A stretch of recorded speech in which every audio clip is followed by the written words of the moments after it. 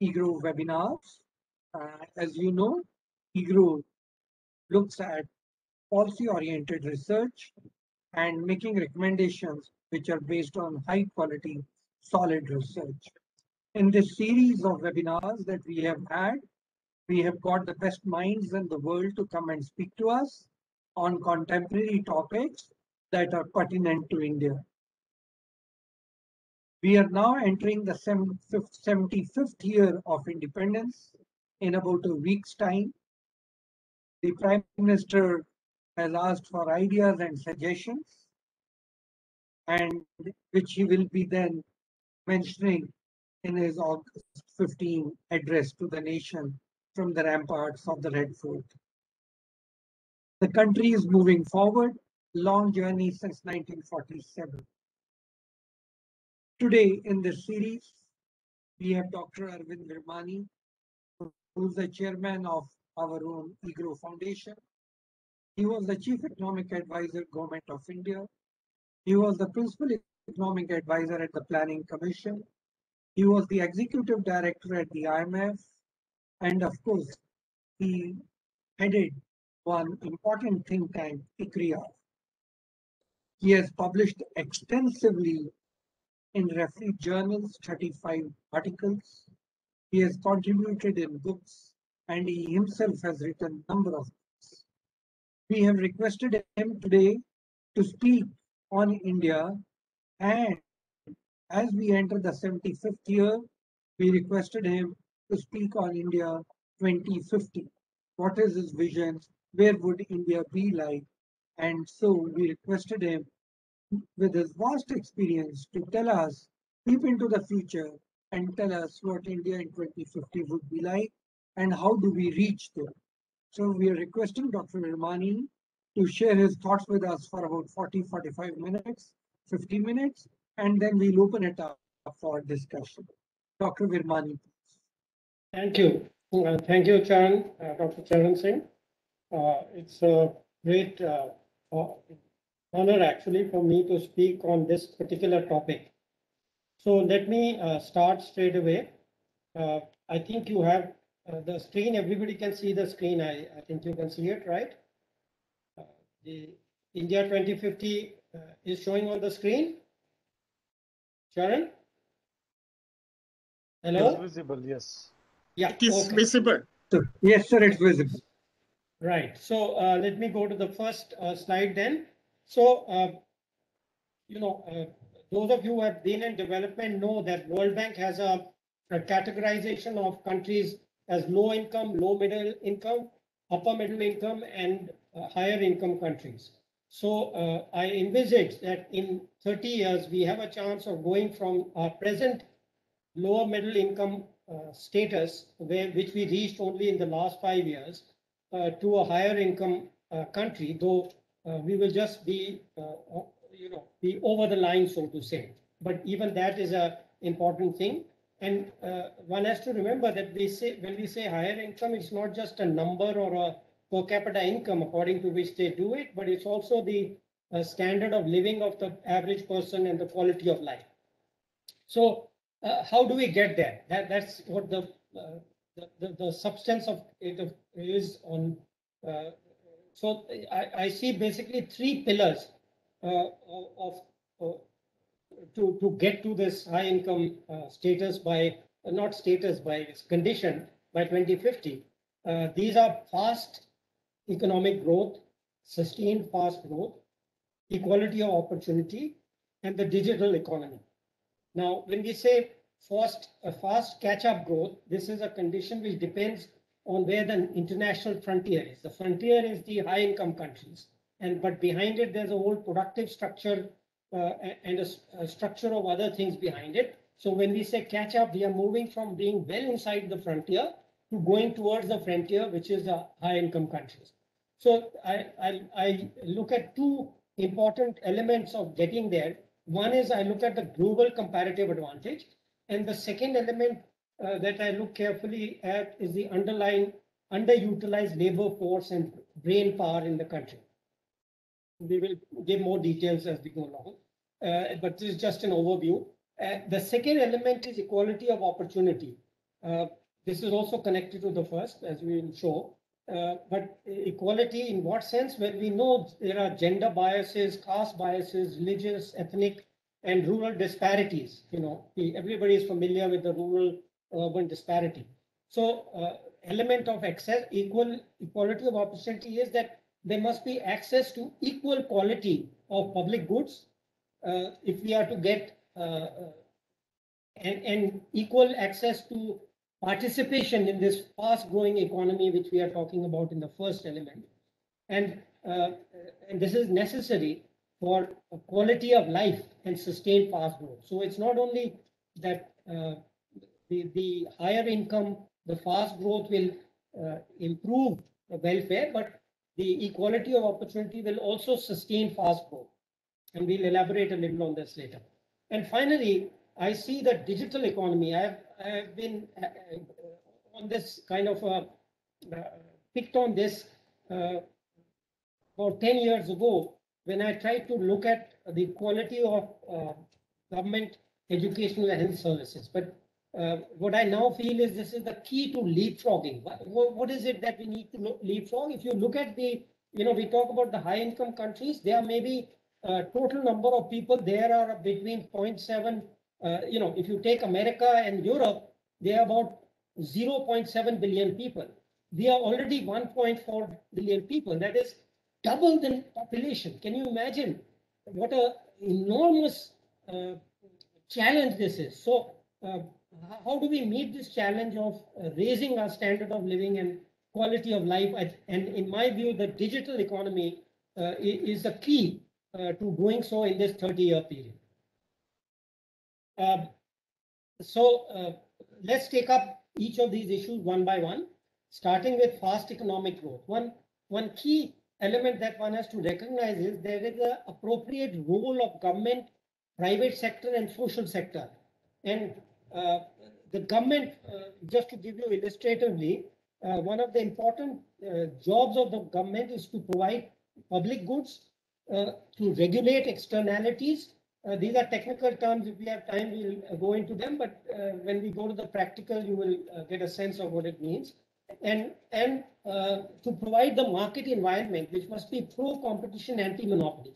This is very important for, you know, getting, laying the grounds for the private sector to compete and innovate. And the third element of government's responsibility is welfare transfer. So uh, the transfers, the money for, uh, you know, to make sure that nobody is left out, that the, the lowest, uh, you know, the, the poorest of the poor are taken care of. That is what it does. sorry. oops. yeah. So, so social, the, the, but, but we also need, you know, the government is not really, it's shown over the 70 years that it is not very efficient at doing very detailed things. So it needs, we need a social sector and a community public partnership when it gets to a kind of micromanagement of welfare. So government is better to doing an overall welfare, giving transfers, giving money, you know, and, and giving money to social sector organizations which will do the micro work. Uh, for example, if they are handicapped people, you know, there may be uh, 10 uh, or 100 handicapped people in a uh, in a in a small uh, urban town, we need social organizations to take care of the details of that while the government provides the money. So, so this is the different roles of government, private sector, and social sector. The private sector must compete on a level playing field, which is provided or helped to provide by the government. So uh, let us look first briefly at the outcomes, and then we'll go into the details of what actually needs to be done uh, on, on the ground by, by government, etc. So, uh, so welfare depends on per capita GDP. The per capita GDP is really uh, an average uh, of the welfare. It measures in PPP is the best way to measure the average welfare of the uh, society.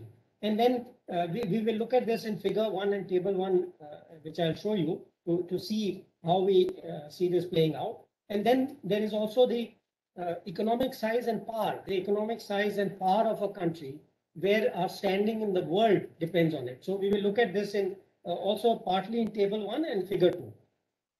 So what, what does the uh, shape of per capita GDP look like?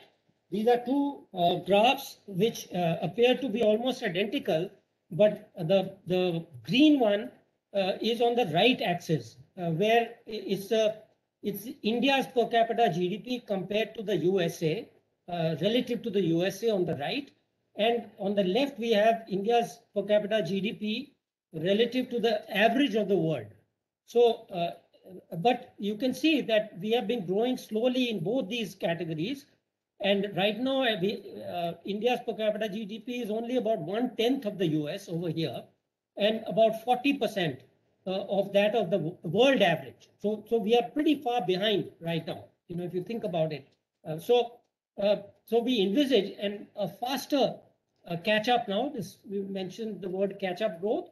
So we envision a faster catch up so that uh, uh, by around 19, uh, or sorry, not 19, 2042, uh, we would have reached the average, the world average by about 2040 here.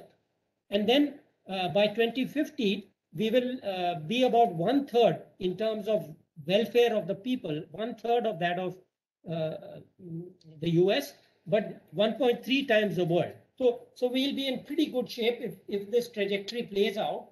Then the welfare of the people, if, if something uh, which, uh, you know, that high income level implies this is the per capita GDP or it, uh, the other way around. This is the projections we have made. Uh, and uh, and the welfare, but still, still would be about one third of that of the US. But as this uh, next table shows, if you look at the notes at the bottom to get a sense of what it, what kind of mm, quality of life or welfare we are talking about, you look at the notes first before I go to the numbers here. Well, I can start with some of the numbers. If you look at columns two and four here, you can see that India's per capita GDP will go from being about 127th now to about 90. So we'll improve by about uh, 30 uh, ranks uh, from over this next 30 years. Roughly, you can see that is an average of one uh, spot on the rank. Is, these are, uh, you know, order of magnitude rough projection. But if you look at the bottom, uh, this per capita GDP, which is given here, I mean, don't be stuck on the exact number. These are order of magnitude numbers. It says here 3, 4, 34,477 in terms of constant international dollars in 277 uh, of 277, say 217. Uh, but to get a sense, this is the per capita GDP, uh, which uh, UK had uh, uh, almost around what UK had in 1997, Japan had in 1999, Spain had in 2000, and Australia also had in 1997. So that is the level. These are all high income countries. They're already and have been for many uh, years. So that will be the kind of standard of living or average uh, level of the country if we uh, achieve this objective. Obviously, if we go faster, it will be better than that. But that gives you a sense, concrete sense of those who have see, been to any of these countries or, or have read about it. That is the order of uh, magnitude where we will be in 2050. The, the, the other thing to uh, note here, uh, uh, you know, is in terms of uh, the India, US, and China, US uh, GDP, uh, that we will still be about 45% of US's GDP. Sorry, we, we will be equal in GDP. So th- this is the paradox, you know, th- but this is not a paradox. It's it follows. Why does it follow? Just this is very important because I keep hearing experts question one or the other. Remember what I just said. Our per capita income will be around one third, yet uh, we will be uh, in terms of GDP, we will uh, at PPP we, we will be equal in size of, of the USA. There's not a paradox because we have a much larger population. Okay, so if we have more than three times the population of the USA at that time, it follows. It's just a simple multiplicative thing. There's nothing contradictory about it. There's something which I find surprising. People are always think there's some contradiction. We'll still be uh, poorer, so to say, than the USA, but we will be as large as the country. So, uh, in terms of uh, the index which I use, uh, sorry, 1.4. We are already 1.1 will be 1.4. Sorry, it should, this column 7 is under 2050. Uh, but uh, in terms of the index of economic power, we will still be around 80% of the power, economic power, just purely in economic terms of, uh, of the USA. Okay, and we'll see that in the, how, how the, the, the scenario looks. So uh, I plotted these things here uh, to give a pictorial, you always get a better picture. So, so if you look at this, uh, th- this red uh, line here is my, is the VIP index, which is VIPP index, which I have constructed of economic power, which also gives you the overall power potential of the country. But if you look at the purple, which is higher, this is the per capita GDP in PPP terms. So you can see we've been uh, losing, uh, right? Uh, per capita, uh, sorry, this is the ratio. It's the ratio of India versus China. So this graph is just India over China. And our per capita GDP has been declining for the last uh, 30, 40 years relative to China. But now we are uh, almost, we have turned the corner. We are, and it will start rising from here. And similarly, the the, uh, the, the economic part uh, is now uh, down here. This is 2019, that 2020 shock. Uh, and from here on, we'll be going up. Okay, so this is this is the picture which you see there. Uh, the only other thing I'll point out this time, I'll come back to the power issues, is if you remember the table, uh, I said that India's economic power will still be about 8.8 percent. Now, uh, again, people find this, uh, when we talk about great power, people think, oh, uh, how can you be a great power? Well, it turns out if we look at the history of great powers, and I've constructed this index for the past, you know, two centuries and beyond, and what we find is that Soviet Union at the peak of its power, uh, vis-a-vis, we used to call it a bipolar world, had only 35% of the economic power of Russia and we'll have 80% of US power. You know, so Russia had uh, 35% of the uh, power uh, of USA. We will have 80% of the economic power. So there's nothing surprising about it. You can be a great power without being equal or uh, more uh, bigger economy or a stronger economy. It doesn't require 100% catch up. That is something to remember. Okay, let's get back to the the, the important uh, I think I'm going a bit slow. Okay, let, let me speed up a little bit here. So uh, the growth, uh, the, the idea, the growth environment uh, we mentioned is very important element of uh, government policy to attain this high income status. And the, key element here is competitive markets. Competitive markets are essential for sustained fast growth in a in a democratic democratic uh, market economy. So reform, we will briefly uh, show you the list. Policy reform is uh, you know, there's a list of reforms. M- Most of you are familiar with it. We'll go over it quickly. Uh, but uh, an underlying uh, element is decontrol. That this during the 60s, 70s, we just heavily controlled and killed our entrepreneurs, uh, killed our industry. And this decontrol process has been going on. All elements of uh, uh, that many have been done, many are in process. But this is the key underlying theme of most of the policy reform. Then institutional reforms. So it, uh, something which many uh, many in the public or media or even the government and um, politically don't recognize that you need modern professional regulatory system is very important.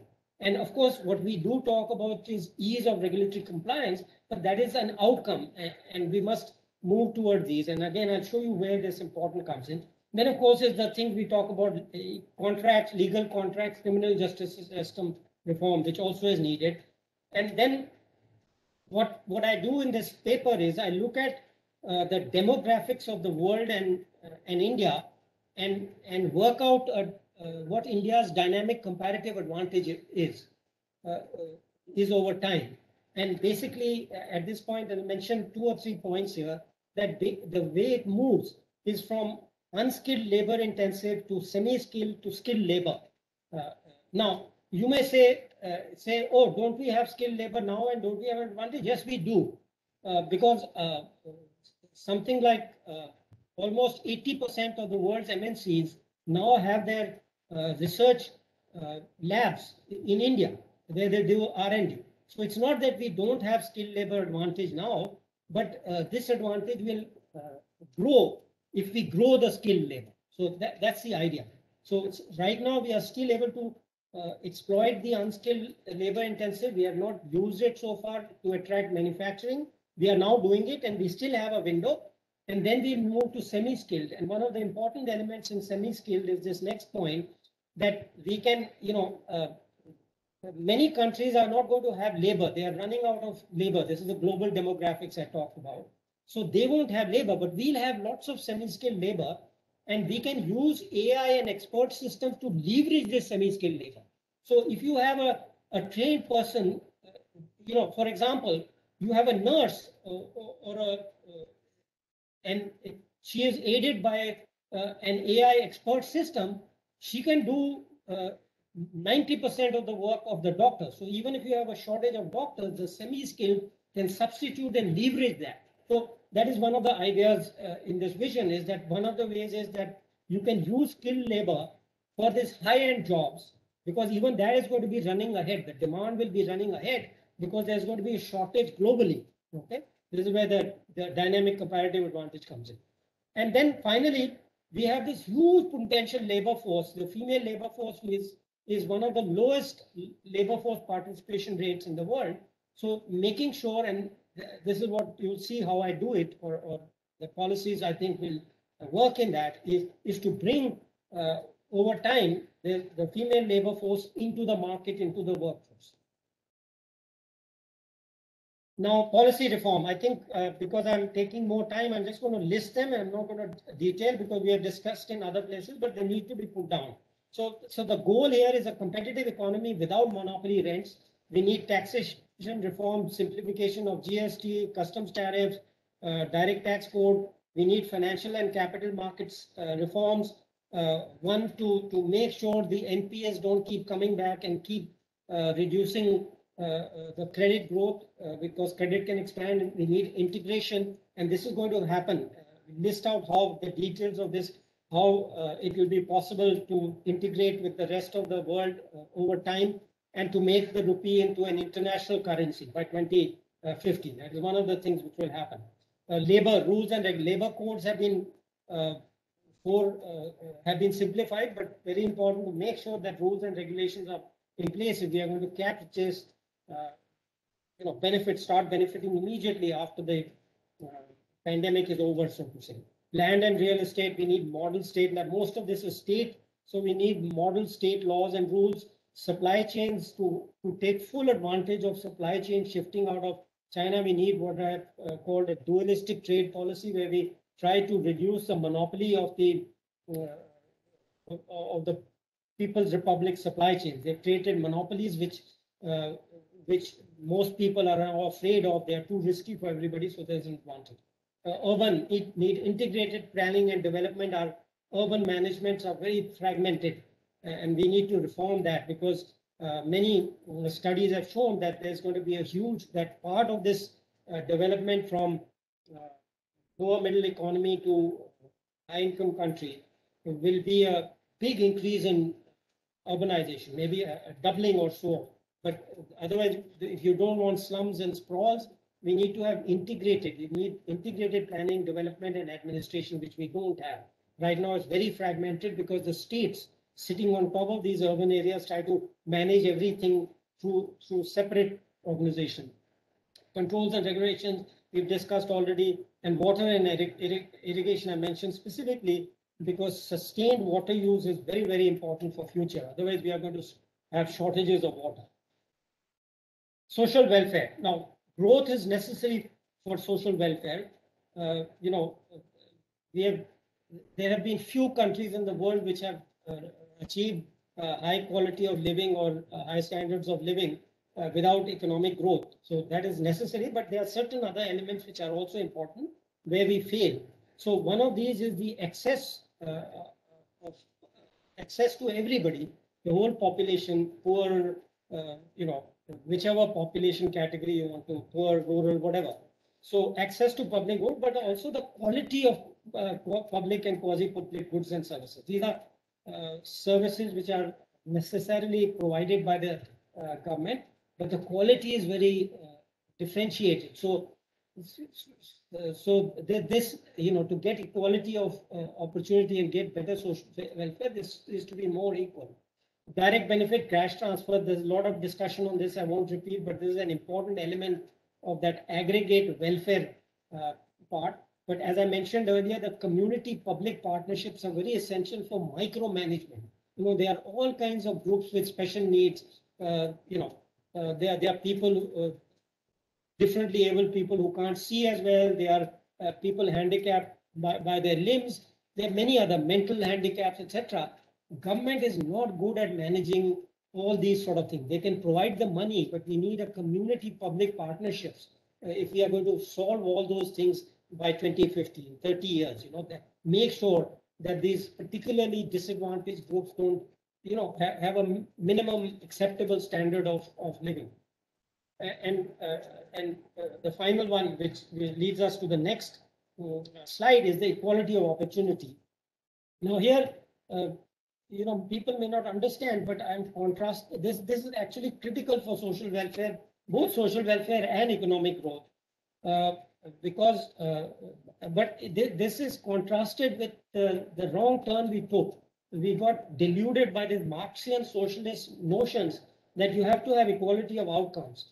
And nobody, nobody has been able to achieve equality of outcomes without tremendous slowdown in growth, uh, tremendous corruption, uh, and, and, and so on. So, so what we focus on and we have to focus on. So it doesn't mean that if we, when I say, uh, you know, on Twitter or somewhere that uh, socialism is bad, I'm talking about this Marxist socialist delusion that somehow you can produce equality, complete equality of outcomes, you know. Uh, but, but the equality of opportunity is absolutely essential for social welfare. And I believe that it's good for both social welfare and economic growth. So how, what are the elements of this uh, which we need to uh, focus on? So one of the biggest issues is underutilized brain power. I already mentioned uh, that lower uh, female participation rate in, in the labor force. That, that's very important. Uh, but there are other, there are social constraints. You know, many women who uh, are unable to work because their society doesn't let them, their family doesn't let them. We have to get somehow either around the cons- constraints. Uh, you know, we, have been trying to address them directly. That is too slow. We have to figure out, figure out, and I, I believe there is a way to figure out to how to get around these constraints and also the geographical dis- disadvantage that rural areas face. Uh, This is an issue of what we call economies of scale. Anyway, I'll come to that, but let me go through the list. So education and skills, quality differences. Uh, uh, The most important of these are rural. The rural uh, schools, the government schools in rural areas, but the primary schools, secondary schools uh, have huge absent absenteeism. You know, the teachers don't show up. Uh, similarly, public health and public health, uh, public health is very differentiated. Health services, uh, you know, same problem. Nurses and uh, and doctors don't show up. So the quality is very poor. They don't want to go from urban areas to live in rural. So how to deal with that? Well, there's a way. Uh, then public health education is very important. Public health and public health education, which we've learned from the endemic, you know, pandemic, very important. Uh, and then uh, employment and job opportunities, they are not equally distributed. So because they depend again on social network, uh, what I call social network biases. You know, if we, uh, I'll give you one example. Uh, the, the plumbers in, in Delhi, many of them are from, uh, from Orissa, from a particular area. So there's a social network which has developed that plumbing, all the plumbers tell their relatives and they come and they get the job. There, there may be hundreds of millions of uh, people who would, uh, from other states, Bihar, etc., etc., who would love to do plumbing, but are unable to because they are not part of that social network. So, no, social network biases, we need to open up. And the biggest source of bias is what we call information bias. Okay, so people who have the information get to benefit from it. Obviously, they have to educate themselves and work hard. But if you don't even know, then there is an obstacle to equality of opportunity. So uh, the, the, the, uh, we call it an information paradox that if you don't know, if I don't know there are opportunities for plumbers in Delhi or Bombay or whatever, I'll never become a plumber. I won't go and get the plumbing uh, knowledge, experience, and go there to go look for a job. So th- th- this is a problem we have to overcome. We want equality of opportunity. Then knowledge economy. This is connected to this whole problem of information. So, so access to information, we need to uh, give basic education and web skills to every uh, child and even every adult in the country. If we want this, uh, them to at least be able to access, to have this equality of opportunity. Similarly, job skills, uh, you need to be able to access the knowledge and information. So this is very, very critical uh, for equality and for growth. Supply chains, uh, the, knowing that there is a demand for a particular good, you know, somebody based in, let's say, Assam uh, or, or uh, uh, some remote area of Madhya Pradesh, you know, they, they, don't even have that information that, okay, there is a demand for X or Y product, product which is made here. So this uh, knowledge, the access to information is critical. Then there is an element of educating the educators. You know, we, this is an area which has been neglected in India. It somehow felt you have a course, you have a degree, and that's fine. But what you have to teach them is how to teach. So when you get a certificate, it's not that they have the knowledge of history and they teach history, but how to teach. So educating the educators on how to educate, teaching the teachers, training the trainers, that's a big element which has been neglected so far, but I think is recognized in the new economic policy.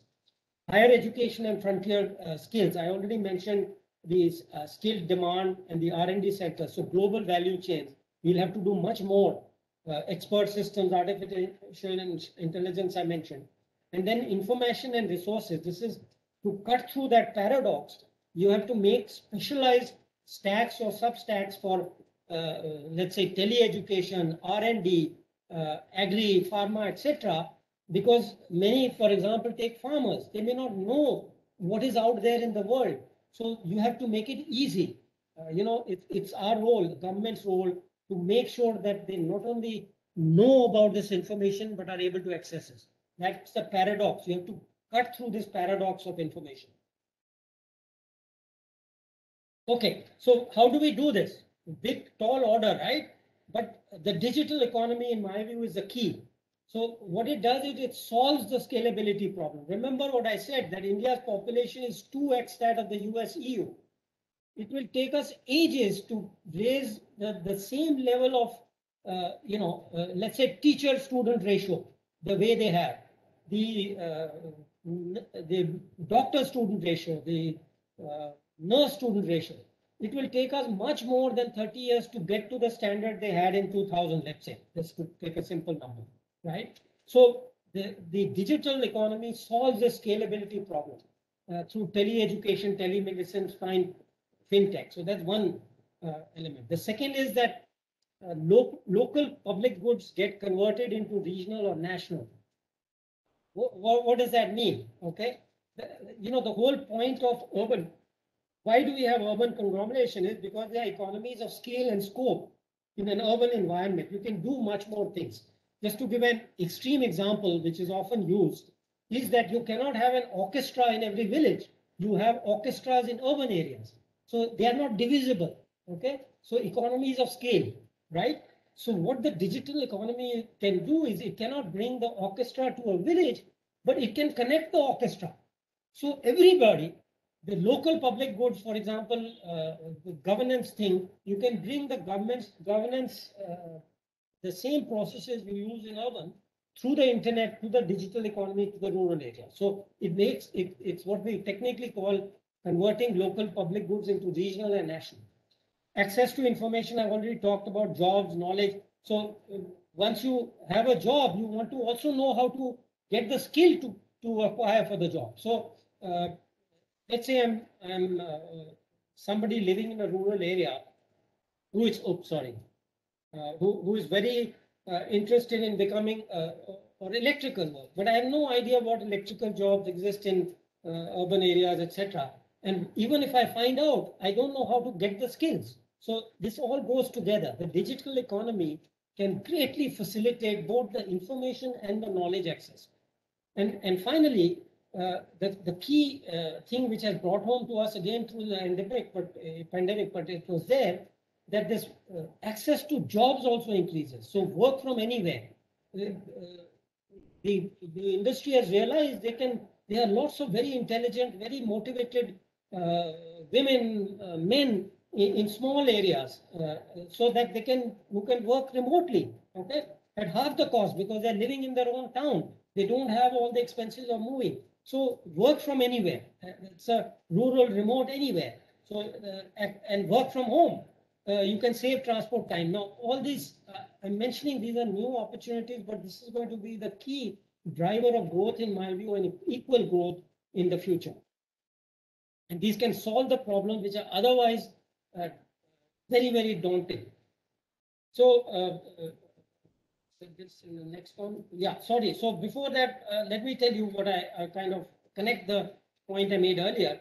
So for example, uh, rural women, because of societal pressures, may not be allowed to go outside their home uh, to work somewhere in the nearest, um, let's say, small town. Okay, but what will become feasible is when the internet connectivity is there, they can work from their village home to not only just the nearest urban area, but the middle town or the tier two town or, or, or the world. So this uh, digital economy opens up the whole world, you know, and you get around these constraints. Uh, making the society in a village change is very, very hard.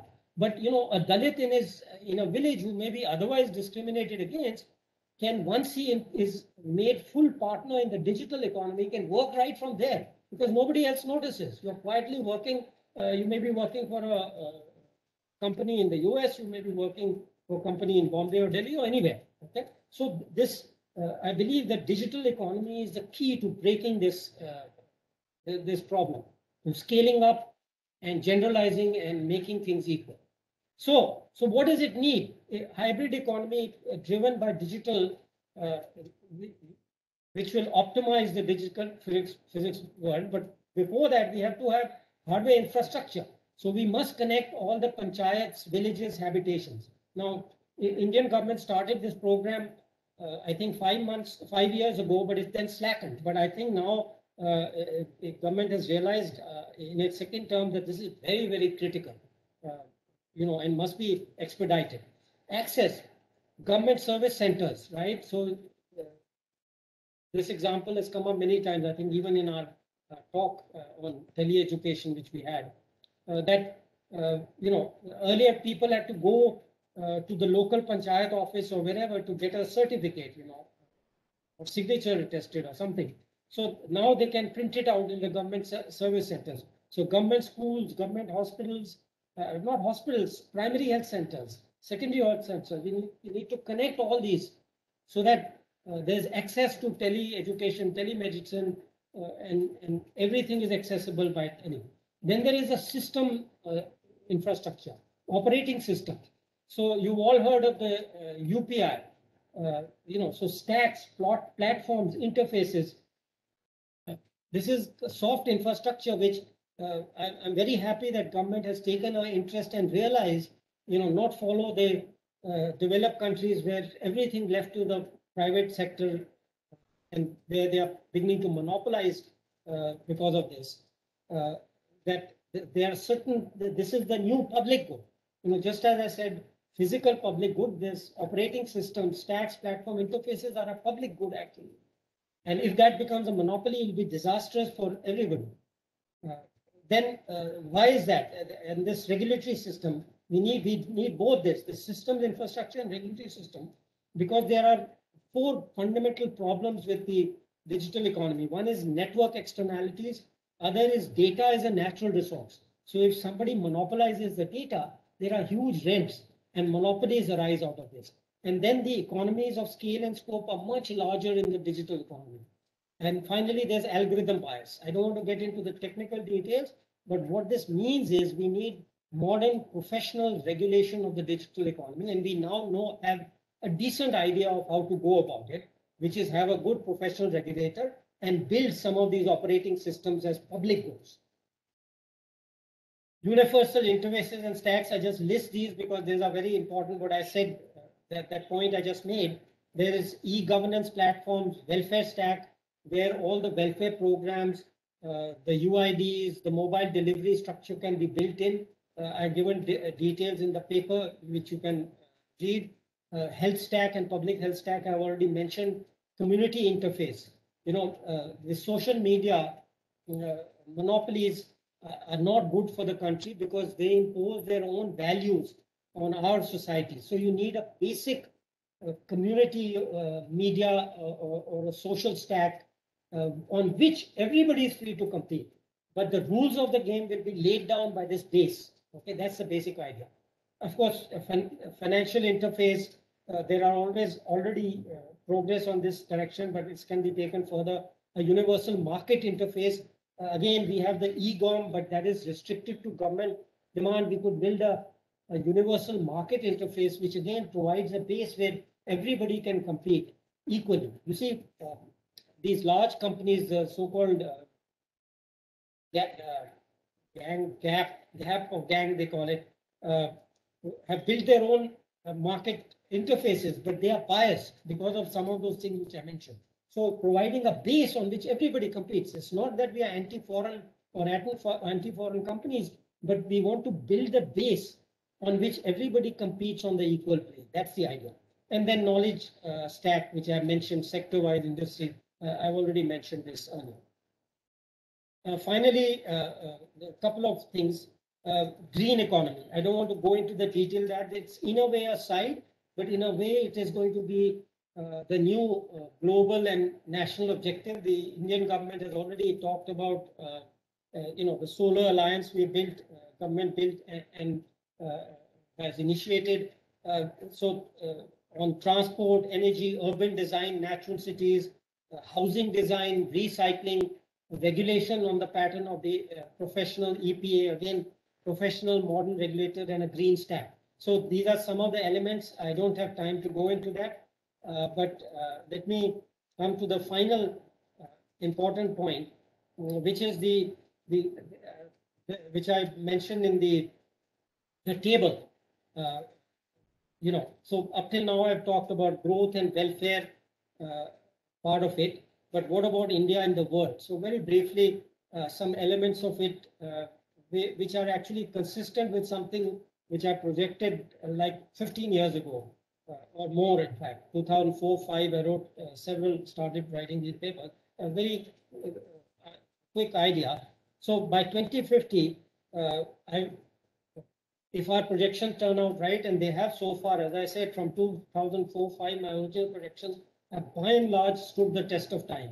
There are minor vari- variations, there are shocks, uh, but uh, this is what we expect that there will be a tripolar world with India will be the, the third pole after USA and China. Of course, the weakest one, no doubt. Don't, you know, being a third pole doesn't mean we are as will be as powerful as China or as powerful as the US. Please do not make that mistake. Uh, I've already told you that in, in terms of my projection, the economic power as measured by the index which I developed is about 0.83. Okay. Uh, but there are two other elements which are very important for India. One is a military industrial complex. You know, there again, there are people who make the mistake that somehow if you can design a plane or a submarine or build one prototype, that makes you a, a military power. That doesn't, okay? Of course, uh, you need an industrial complex which can churn out, you know? It's not a question of just designing one tank. You need to churn out hundreds of tanks. If you're going to design a plane, you need to churn out tens of planes if you're going to fight a war, okay? So the, the development of technology is very important, which is called strategic defense technology. So frontiers, the frontiers are on hyperplanes, um, on, on, um, what do you call it? Uh, you know, uh, other technologies. Those have to be developed. And I, I believe we need a defense research and development commission to accelerate this process. But the military industrial complex is very important. And sadly, we, we kept the private sector out of it for too long. But luckily, that has changed, but it's going to take time. It's not instantaneous. We have to develop the capabilities to mass produce. That's a key element that people keep forgetting. Even good scientists, good technologists, people forget that you need a whole military industrial complex to churn out weapons.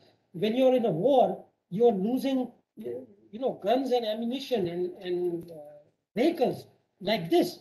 You have to be able to churn up the complex and produce uh, tens of them within months. Okay, so you need that complex. Uh, then the, the second point I just want to alert is there are dangerous imbalances in, in 20, uh, you know, I had predicted in my 15 year old papers that there would be a dangerous period from 25 to 35. Now, this new uh, ruler of uh, China, the PRC, seems to have accelerated this process to 2020. So the dangerous period has closer now. It has already started, for particularly for its neighbors, including India, and even for others like the USA. So in my view, uh, and just reiterating what the government already has realized and knows, that India-US strategic cooperation is critical to make sure that it, this imbalance doesn't result in a, a serious war, which would be bad for everybody. So deterrence. For deterrence, we need India-US strategic cooperation. Then there is a whole new war, the gray war, hybrid war. I wouldn't say it's completely new. I think there were elements of this, small elements, but in in the bilateral world, in the bipolar world between USSR and USA, but it's been taken to a whole different level uh, by the People's Republic of China. They've widened it, deepened it, so that it's now a comprehensive war front stretching from economics to, to geopolitics to everything. So to deal with this, I think the Quad uh, as a core, the Quad plus plus in a broader sense, uh, is going to be play a very, very important role. And, and two elements of this, uh, how it is to be done, I think high-tech decoupling uh, is very important because uh, the PRC uh, focuses on uh, something called strategic technology, strategic defense and other technology uh, using what is called a SREAD strategy, what I call a SREAD. The S here stands, stands for spying and stealing, reverse engineering, and developing. So there are all these elements. You know, some people uh, who are biased towards the PRC China focus only on the development. They say, oh, they've spent so much money on development. They forget the spying part and the reverse engineering part. Some people focus only on the spine. It's not just getting to know the technology, you have to develop it. So it's a whole chain and they've refined this. And the only way to stop and break this chain is through high-tech decoupling, which is happening, by the way. Then partial economic decoupling. What is the motivation for that? The motivation is that PRC China has used asymmetric economic, trade, technology, uh, and FDI, all asymmetric policies to get rents for itself.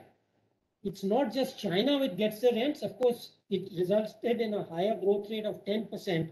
Uh, I estimate that two, uh, one third of it, uh, about 2.5% of that was due to this uh, supply chain monopolies which they created and extracted rents from the rest of the world. So we need to break these monopolies. Okay. And it turns out we are in a good position to benefit from some of that. And we are creating, in the process of creating an environment that people feel uh, secure and, and efficient in transferring some of these uh, chains to India. And finally, uh, the, the paradox uh,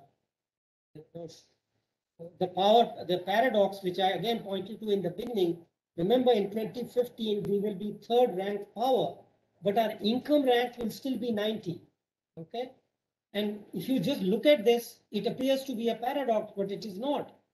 It's because we have, there are, you know, there has been never such large countries in history like China and India, which have uh, a population which will be four times that of the next country, the USA. So this is an unprecedented situation where such large countries are rising up the per capita level, and that is where this contradiction arises. Okay, so to me, it's not a contradiction; it's just something uh, which we have to live with and be clear about. Okay, so we can still be a power, even though our per capita income is in, uh, is just reached the higher income levels. You know, and maybe maybe 90th from the top. There may be 80 other, 85 other countries who have a higher level of income and, and standard of living us. Let me end with that. I don't want to repeat all the conclusions, but that's the conclusion. Thank you.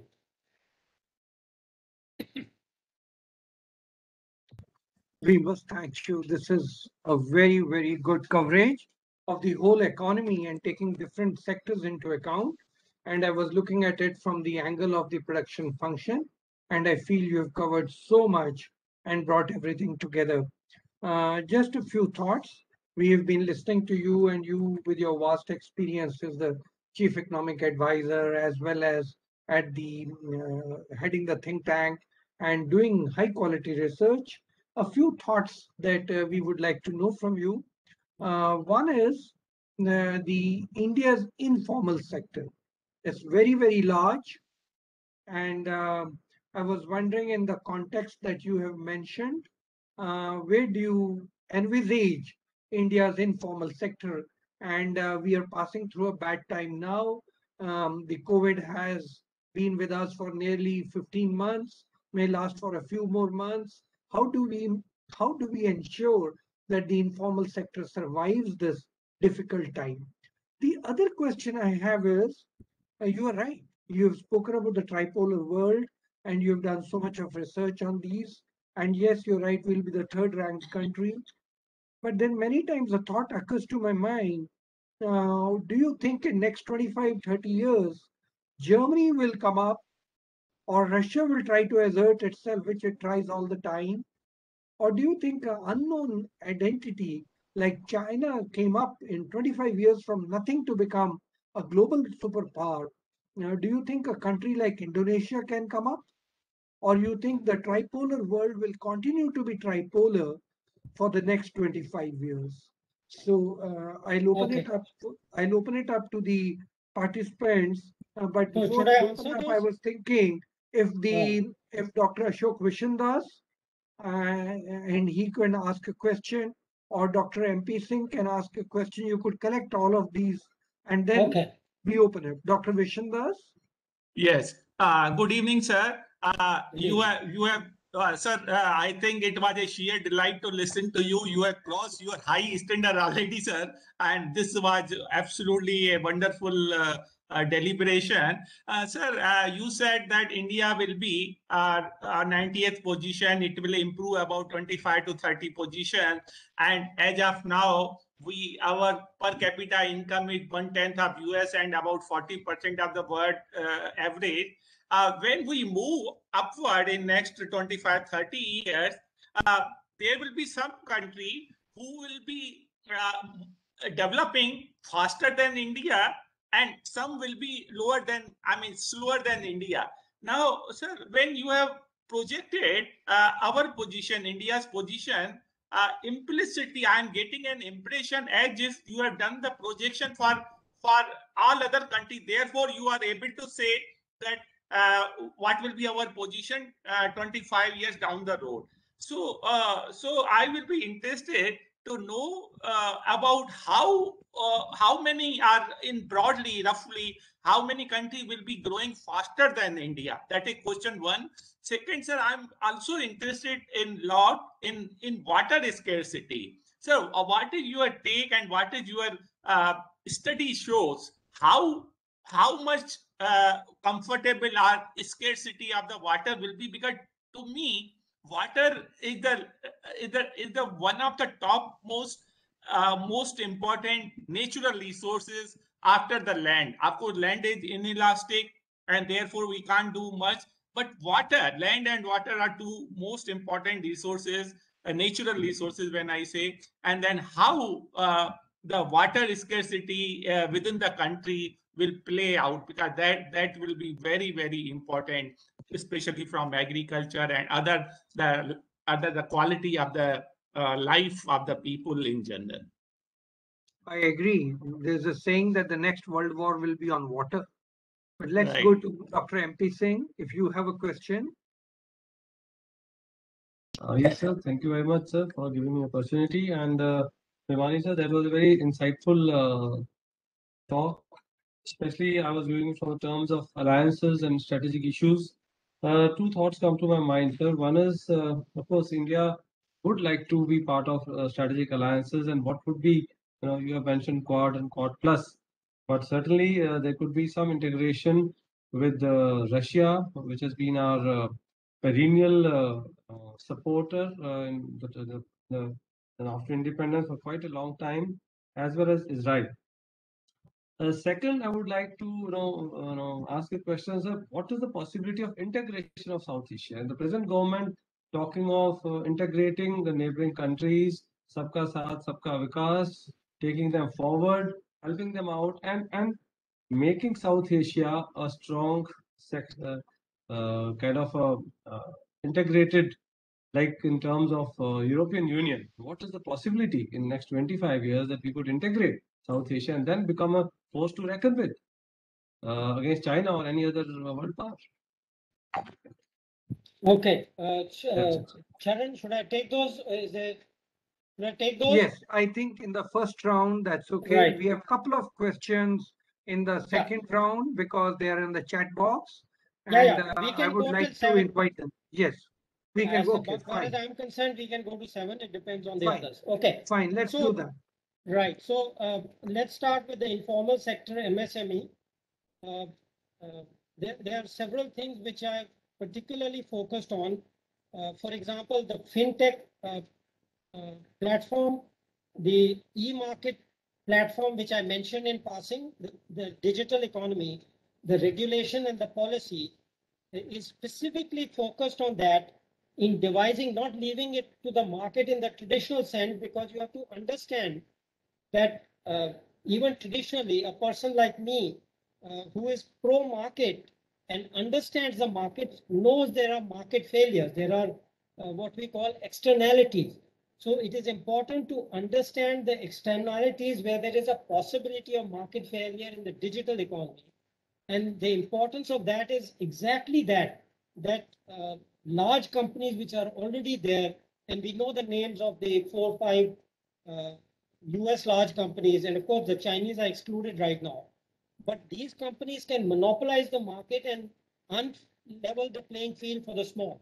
So part of the recommendations which are there in this uh, in this vision document or paper is to create this e-market platform on which uh, the MSMEs will have a level playing field. They have to complete, but they'll be assured that they are competing on a level playing field. So that is how I've addressed this MSME informal sector. And the second is giving access. So if you connect all the villages, uh, all the panchayats into the internet, they will then have again a level playing field in information and knowledge.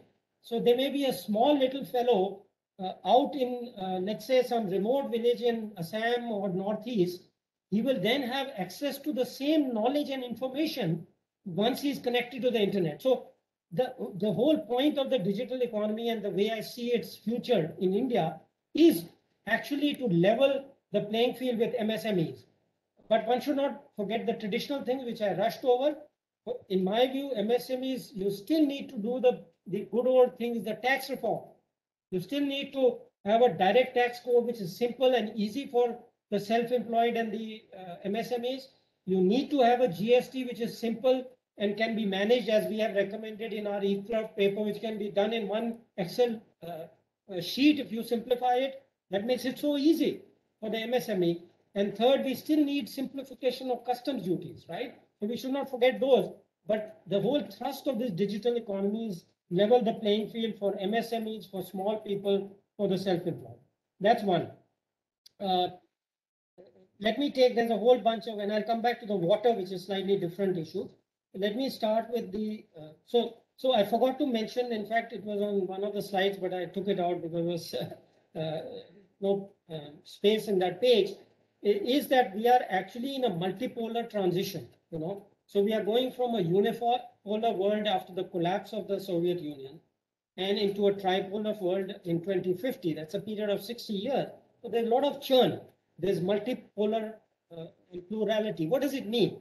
That means different countries and different set of countries can be powerful economically, different set militarily, different geopolitically. There are many dimensions. Okay. So when you have a multipolar or plurilateral dimension, there is not the rank is not perfect, right? It is not that uh, number one USA is number one in everything, number two China is uh, number one in or number two in everything, etc. Right? So we are in the transition period where different countries can have different strengths. So uh, in that sense, uh, Russia and Israel have their special niches, uh, but they are not going to be anywhere near uh, you know, in 2050 as powerful as the top three. Now, in principle, the EU, if it was a single country, could be, but it is not. I mean, I, see very little prospect. I would put a less than 10% chance, for example, that EU will become uh, effectively one country. If they could, then they could be. But they have such divisive, you know, they, they, they require everybody to agree on everything to do anything serious. You know, everything has to be voted, and three, four countries uh, join together, they can uh, stymie anything. So it's worse than a, a democracy, so to say. You know, in parliament, you have a majority, you pass it. They don't have majority voting. So given that, yes, there will be a role for uh, Russia, Israel, and alliances, and and at least for the next 10 years or so, uh, th- there's no reason unless uh, Russia does something, uh, you know, I don't expect, but if it does something silly, if I may call it, I'm not very diplomatic, then it will be a different thing. But from our side, there is no reason why we cannot continue, you know, as long as they recognize that we are an independent country, we have our own brains, we don't need orders from anybody. Uh, you know, if they have the res- respect uh, which is due to us, whether it's USA or Russia, I don't see any reason why we will not be co- cooperating with uh, Russia, Israel, and many other countries. France, you didn't mention France, uh, you know, even uh, and, Japan. Uh, those four countries certainly we would continue to cooperate with, as far as we are concerned. You know, unless they do something which is not acceptable. Now, uh, what about South Asia? Yes, I think. Uh, uh, you know, uh, in some ways, the, the uh, minus one country, there is already a movement.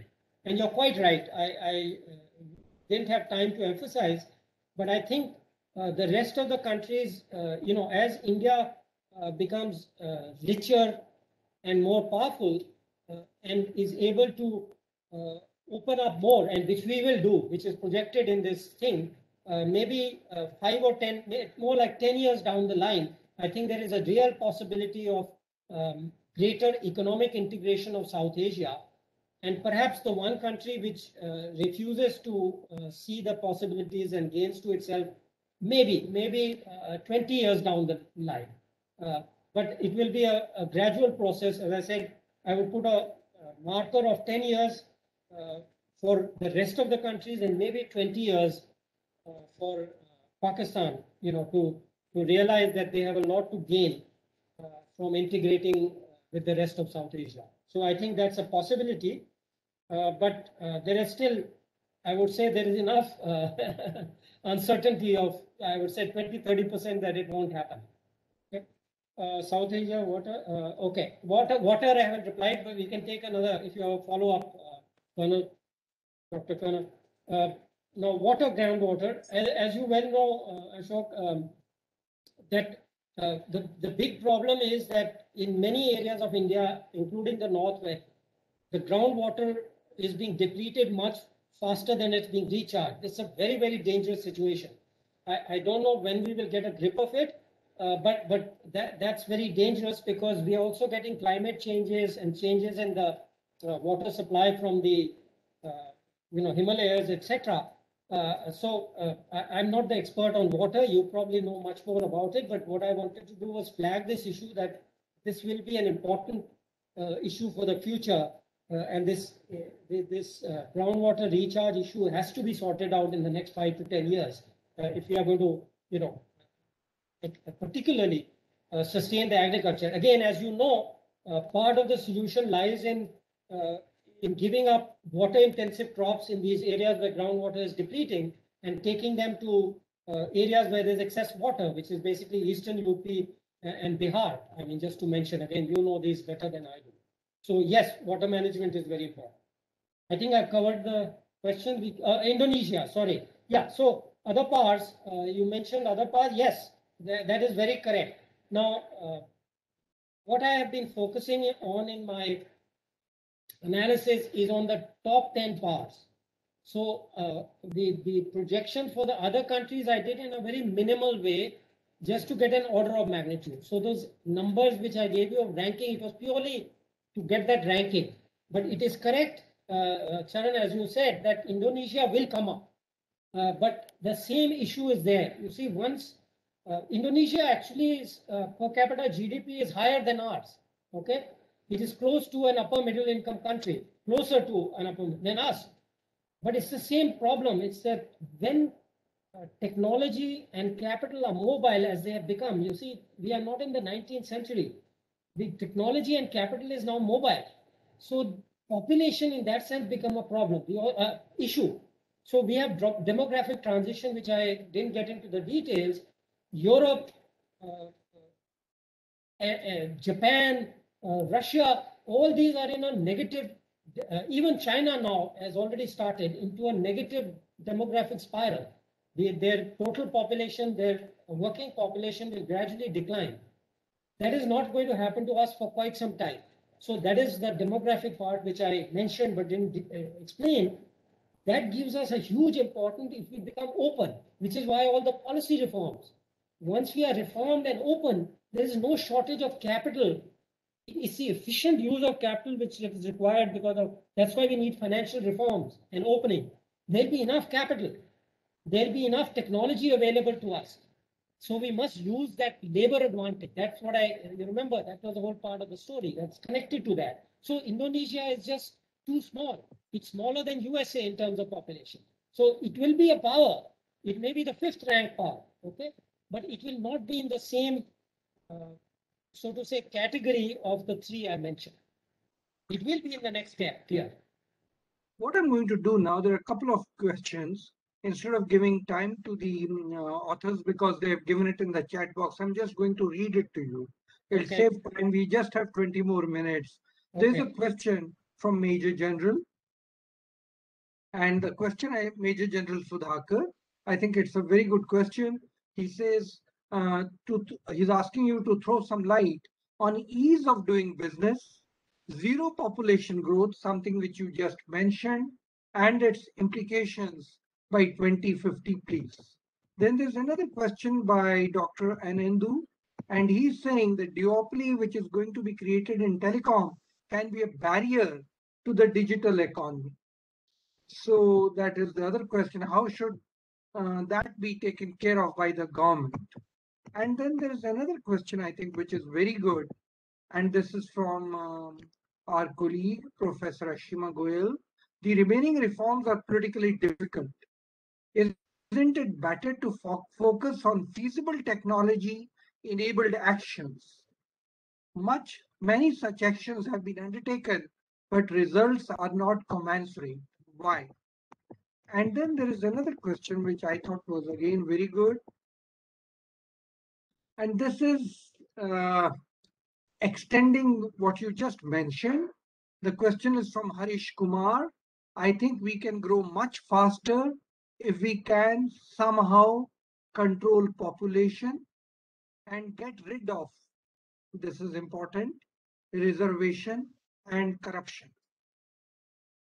So uh, I would request if you could, um, yeah, there is one more question which is from Sundar Vali.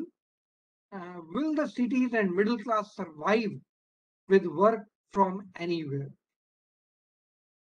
So I think at this, in this round, uh, Dr. Virmani, if you could just Okay. take these questions. Yeah, I guess they've all come randomly. So let me just address them as I see them, right?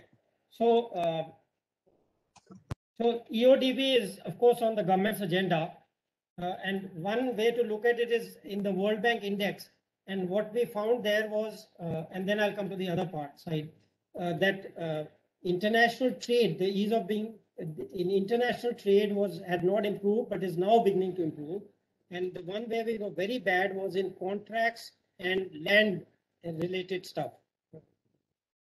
Now, unfortunately, land uh, is a and real estate is a state subject. So, uh, government cannot, uh, central government cannot direct them. What it can do is make some model laws, which is what we have been recommending. That make a model law, you cannot enforce or force the states to adopt it, but perhaps you can demonstrate it in the UTs, for example. So that is one suggestion of how to get around this problem. Otherwise, we have to, uh, you know, those of us who live in particular states should not expect the center to do all the land and real estate reform. We must ask our own state governments to do it. You know, I would request all of you take an interest in that. But the center can do this. It can create a model law and implement it in the UTs and in maybe in the special export zones to demonstrate the feasibility and the positive stuff. Now, uh, there was a related question which is on corruption. So corruption, the, the, uh, th- there are two elements of corruption.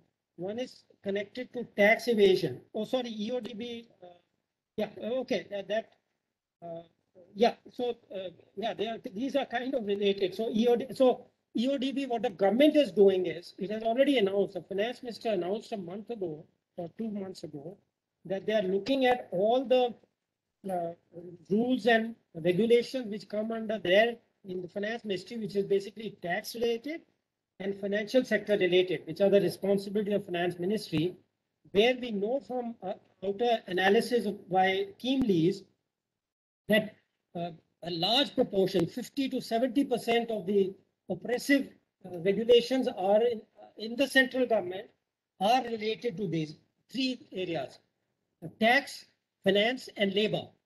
So if the finance ministry is doing it and labor laws, which I mentioned to you, there, I expect that they will set up simple rules, regulations following from the four codes. I'm expecting that. I'm hoping to see it in the next six months. I presume the government is working on it. Then we will make big progress on that front if what is kind of promised comes through. Now, uh, finally, on the tax evasion, I, I already uh, mentioned that tax reform is important for MSMEs, but it's and, and the reason is this whole tax evasion and corruption. That, that's what happens. It's too complicated. The more complicated these taxes are, it doesn't give you more revenues. It just gives more uh, evasion and corruption. So we have argued, I have personally argued, I've been deeply involved in tax tariff reforms in, since 1990. Uh, and, and all the reforms we have done have proved us out. There's nothing contradictory which has emerged i- is that you need to simplify and rationalize uh, the direct tax code, the GST, and the customs. If you want to uh, make it easier for MSMEs and uh, and- reduce corruption. The other element of corruption, I think, is already reduced in the central level, uh, which is in uh, projects, projects and programs. I think that has reduced. That depends on will. And the third part is connected again with that land and real estate. So unless you reform those laws, it won't happen. Uh, middle class, I don't really see the connection with work from home. I think it's an opportunity. Uh, I- would see it as, uh, you know, that, uh, let's say, two thirds of the labor force or, or population is in rural areas, right? Half of them are women, just to take an example it would be a huge opportunity. They will also be part of the middle class. I mean, middle class is not static, it's growing. The middle class is growing because it's acquiring education and skills. My problem is that even women who are educated and some men are unable because of so- social pressures, uh, whatever societal problems, to make use of that. And making use of it doesn't mean that they benefit, whole society benefits because the economic growth rate goes up. It's all related. You know, if individuals use their acquired knowledge and skills, it benefits not only their own income and their status or middle income, whatever, it benefits everybody because it increases demand for everyone. Okay, so I don't see that as a contradiction. Okay, then uh, Ashima's question, yes. Um, right, so, uh, right, and then the telecom. Okay, so uh, here's the issue, you know, uh, as you know, Ashima, you know very well, uh, I've been involved in reform for more than 20 years. Uh, my analysis of the situation is that, uh, you know, this is, um, we keep saying reforms are so difficult, but they're really actually two times of two types of reforms. One are reforms which affect politically powerful groups. Okay, politically powerful not because I am defining it so, because the history of politics shows that. And as far as I can see, there are only two, and both those reforms have been done, or if not just initiated, initiated, but uh, done. So, what are these two powerful groups? One is farmers, the other is labor. Okay, and we've had labor reform, and we've started agricultural reform. I have no doubt that in the next three to five years it will get done. Okay, maybe it is halted right now. Other reforms I don't really see. They are very small, bureaucratic, and other vested interests, which are easily uh, countered if you have the will and the capacity. Give you one example. Uh, the, the reform of the uh, the armaments, uh, what's it called? The board, uh, General MP, help me, uh, uh, Colonel, the, the board, the board of, which has been just been reformed, the arm- arms board, what is this called? Anyway, uh, uh, huh? Sir, Ordnance Factory Board. Huh, Ordnance Factories Board. This huge bureaucracy, we would have thought that you cannot resist it. Well, four, com- seven companies have been formed. Their CMDs have been appointed, their board of directors have been appointed, it's done. Now, that was one big bureaucracy, okay? You can, in my view, you can Uh, counter it. Sorry, sir, there was some, some network Okay, fine, I've got it, I've got it, okay. So, so I don't think that there are, all these reforms are that difficult, frankly. There, there is another one which is the real estate uh, one. But again, it's really the bureaucracy and the politicians. So, uh, and anyway, we get too deep into that particular reform, but I don't really see many other reforms which have this great political, uh, you know, consensus behind them of opposing for self-interest. Okay, so technology, yes, the whole point of my third pillar is technology. It's, uh, you know, I've not gone into detail, but the paper shows that huge amount of time I've spent on the whole technology issue, which fortunately our current prime minister also seems to believe in. I mean, he's the one who took that uh, startup India, the digital India initiated. There was a little slowdown in the middle, but I'm sure he's now back with a bang.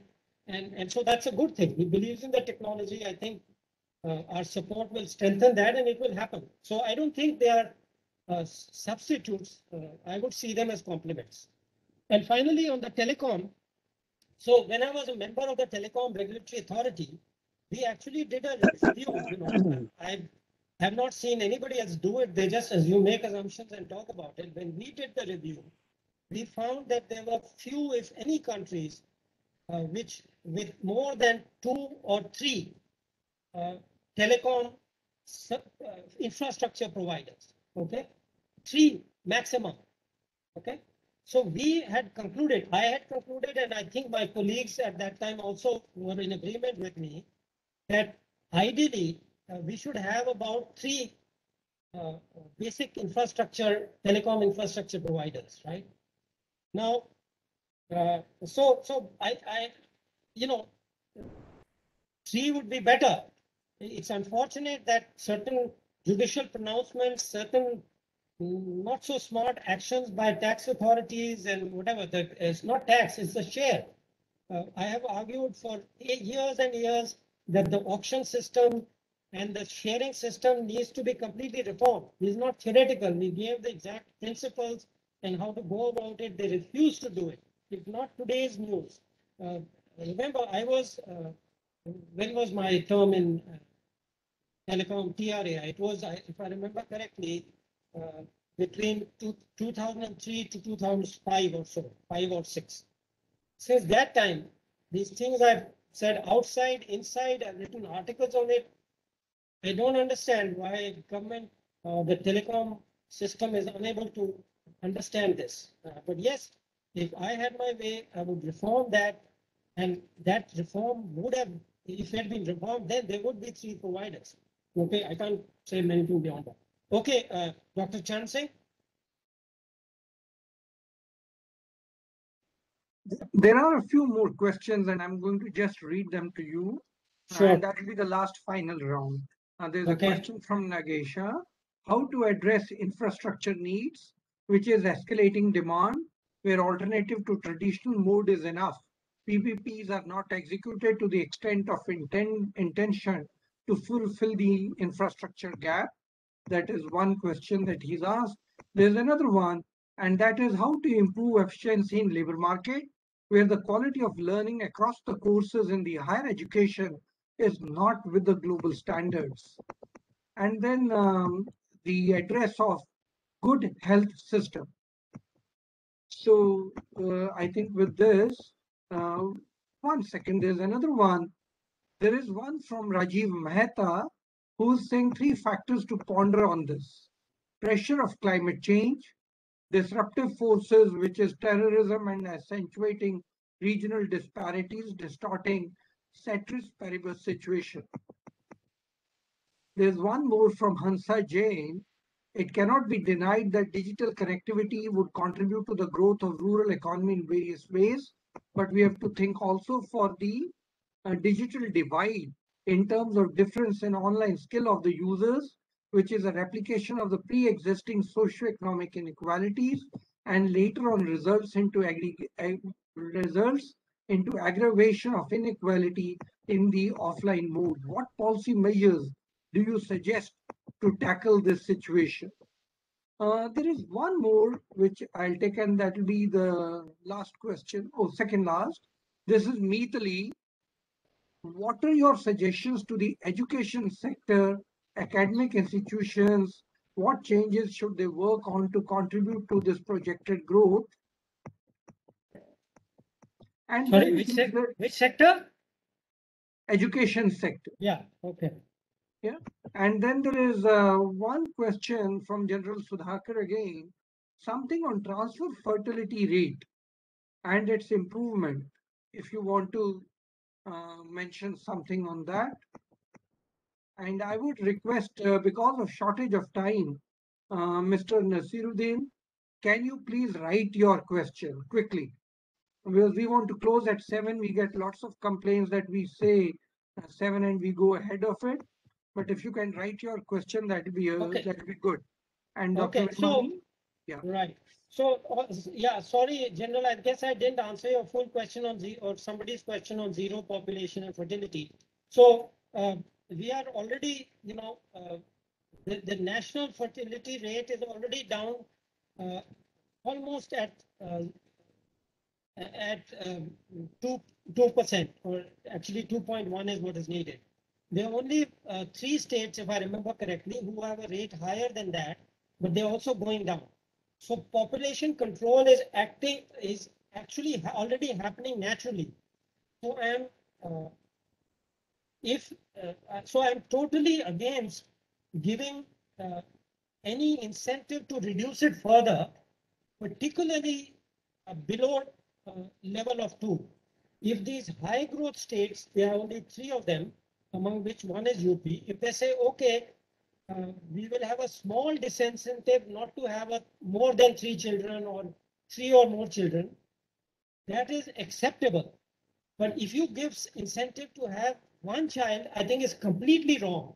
Because that way is going to land you in the same soup as China. I mean, not the same soup, they are in real soup.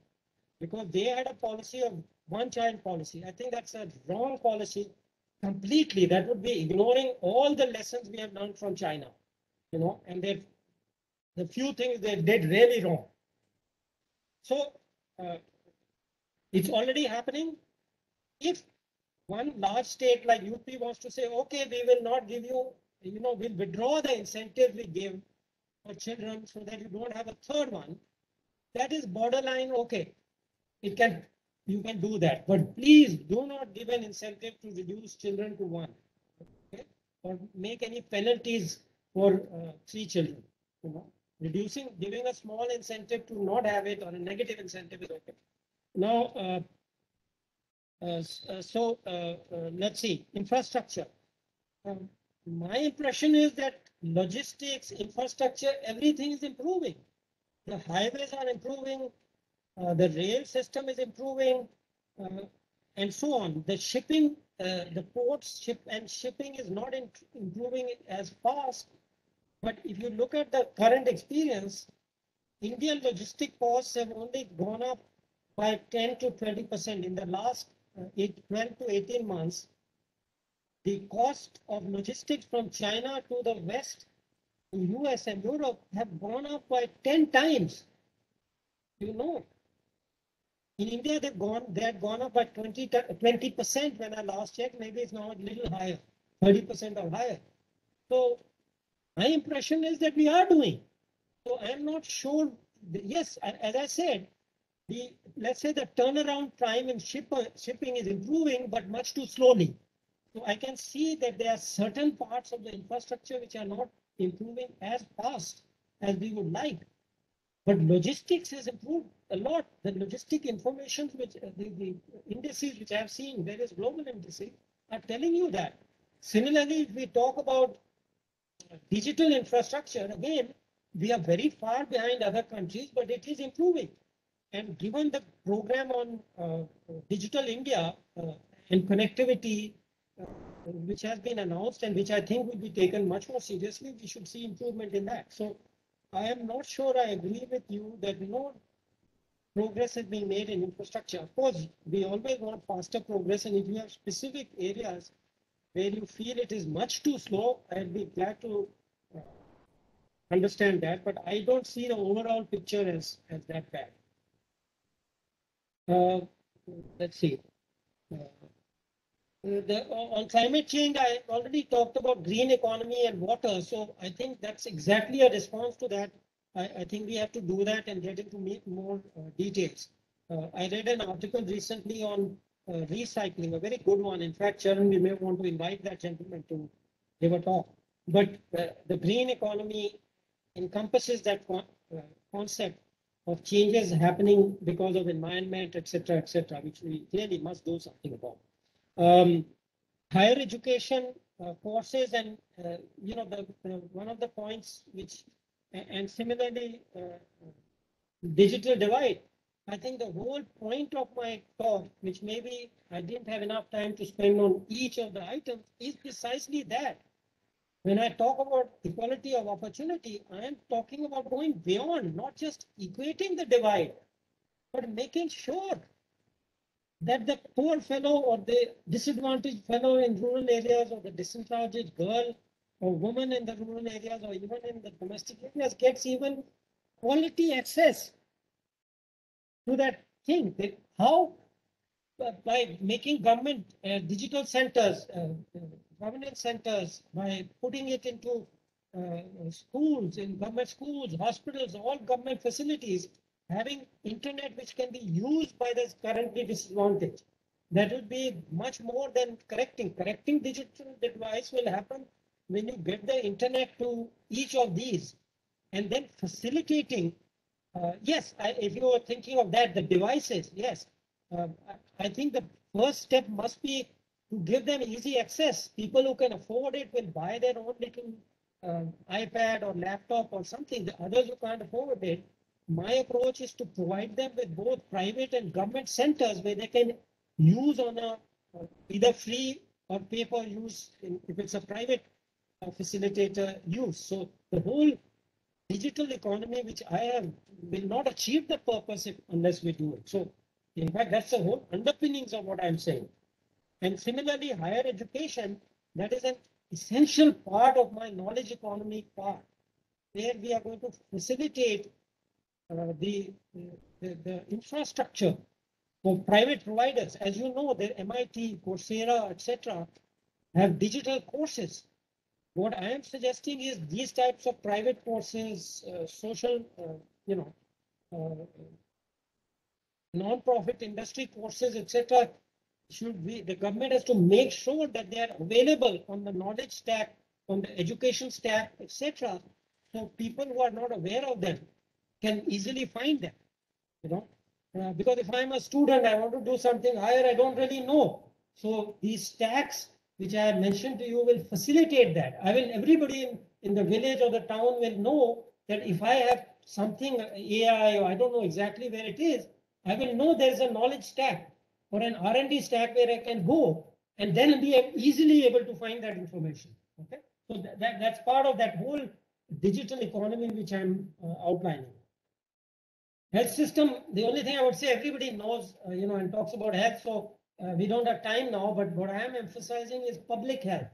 You know, personal health people will shout for, they will, if I have a heart attack, I want, I will, you know, create a ruckus if I can't access a government hospital, etc. But public health people are nobody has worried about. Public health affects all of us, rich, poor, urban, rural, uh, women, men, uh, you know, you name it, uh, any divide you can think of. So that I emphasize must give, get special attention. If we are to get that state of welfare. Okay, I think I've addressed all the questions, I guess, uh, except uh, terrorism, but you know, I think that. Yeah, okay. Dr. Virmani, I must thank you. This was an excellent discussion. We have covered many areas. Must thank you for your experience and your willingness to share your experience and your policy experience, especially the reforms experience, especially with all of us. It's been a learning for all of us. You would agree with me. And so big thanks to you uh, Thank you. for doing this session for My us. pleasure. My pleasure. Thank you Thank so you for your kind words. Thank you. And now we have a very important announcement to make, and that is tomorrow, given the richness of the talk, we will have the recording available on our website. You can use it in your university or colleges or wherever. Next Friday, same time, we are having Professor Ram Faujdar from IIPS speaking to us on again an important issue which came up repeatedly today, zero population, fertility rate, and the topic next Friday is but do not stop at hum do, hamare do. Fertility reversal is much harder than reduction. So I would request all of you to please join. And I must mention one more thing, which I think is the most important thing. On September 3, we have the Nobel laureate Michael Kremer speaking to us on this forum. The exact time we will share with you. So with this, once again, let me thank all the participants, all the people who asked the questions and stayed with us till so late. And once again, Dr. Virmani to have spoken to us today. Thank you very much.